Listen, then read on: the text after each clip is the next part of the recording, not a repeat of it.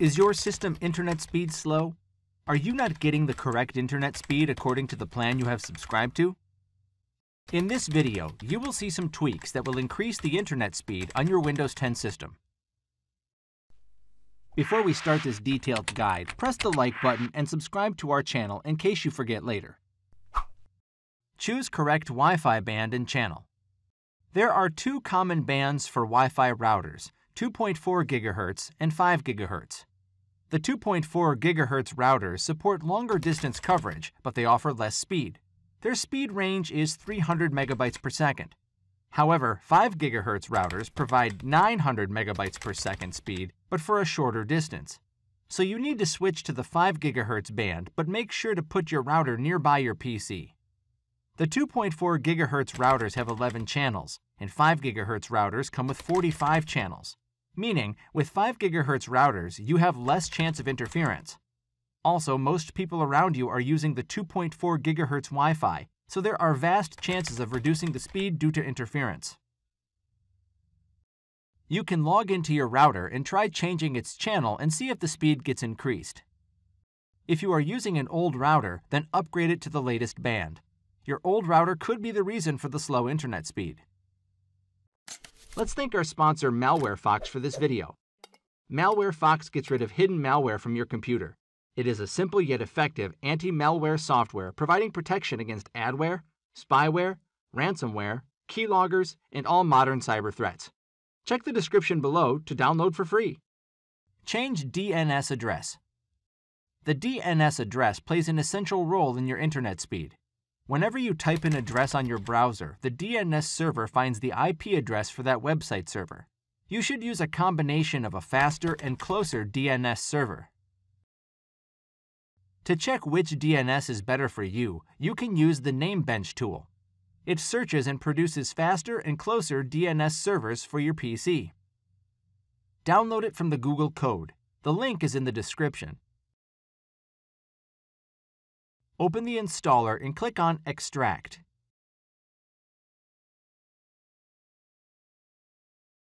Now set the number of queries to 50. It will take less time to search. Then click on Start Benchmark.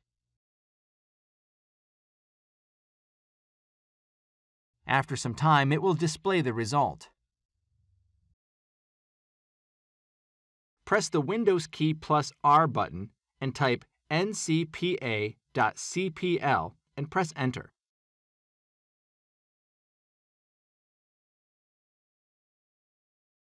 Right-click on your current adapter and choose Properties. Then select the Internet Protocol version 4 and click on Properties. Click on Use the following DNS server addresses and then type DNS address from the Namebench result.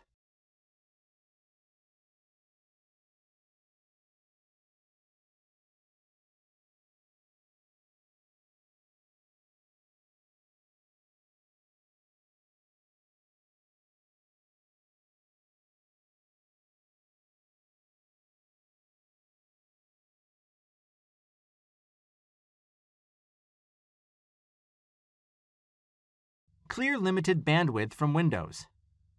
Windows 10 reserves 20% of your internet bandwidth for services like downloading updates and updating programs in the background.